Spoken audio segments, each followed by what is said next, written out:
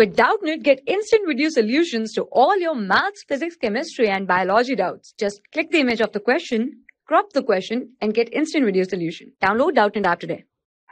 So guys, uh, here in this question is asking that uh, what is the difference between adiabatic wall and uh, diathermic wall.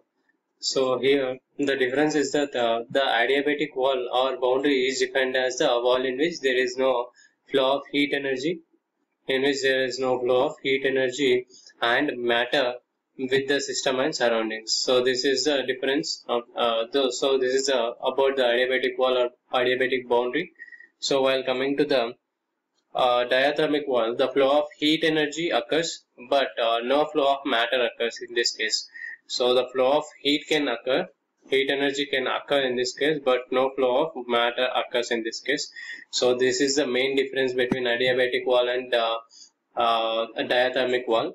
Okay, a boundary made of uh, thermally conductive material is a diathermic wall. So this is all about the adiabatic boundary and uh, diathermic wall. So this is the correct answer for this question. Thank you. For class 6 to 12, IIT JEE and NEET level. Trusted by more than 5 crore students. Download Doubtnut app today.